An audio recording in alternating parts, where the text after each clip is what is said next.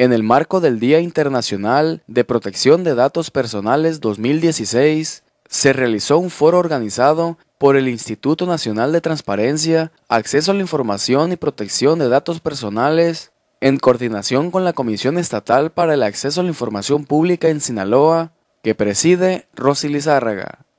La protección de los datos personales es un derecho humano que se encuentra inserto en la Constitución Política de los Estados Unidos Mexicanos y que también ha sido materia de referencia de la Asamblea General de la Organización de los Estados Americanos, OEA.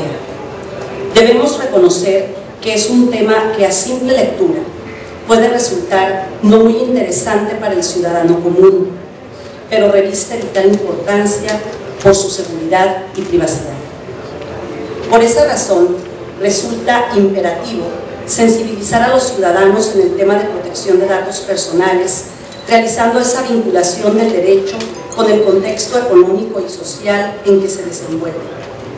Debemos pensar estratégicamente de manera proactiva y trabajar para garantizar la debida protección de datos personales en poder de las entidades públicas. Para alcanzar este objetivo es necesario convocar a una amplia participación de instituciones, sujetos obligados, organizaciones civiles, a la sociedad en general, con el objeto de crear mecanismos tendientes al resguardo de la privacidad frente a cualquier injerencia no justificada.